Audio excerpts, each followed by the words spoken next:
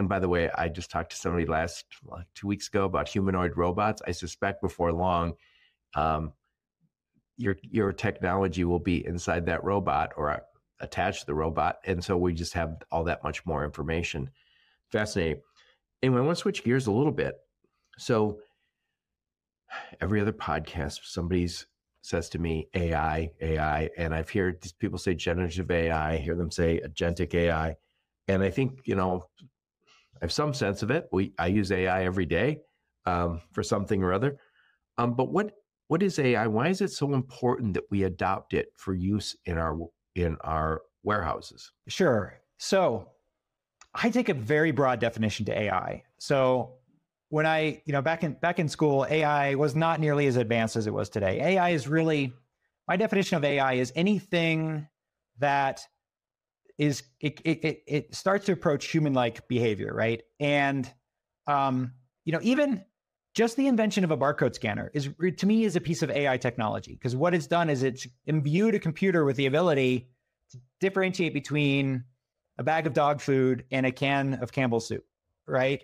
Um, so it's a very broad theme. What we're what we're seeing today in AI is we're we're actually approaching uh, or probably surpass now um, a level where um, there's something called the Turing test. I don't know if any of your other guests have, have talked about this, but this is I'm having a conversation with an, a computer. Can I tell it's a computer?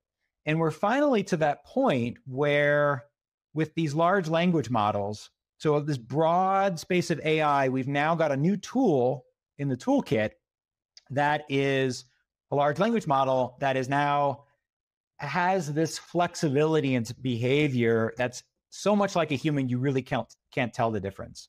And that's really changing um, how we work in in the industry. So one one way one way I like to think about where we are in the state of AI today and how that's different than the past is back back when I was building these AI tools um, you know, let's say in the Kiva case, we had these robots that were they were driving around and moving shelves so that people could pick items off the shelves.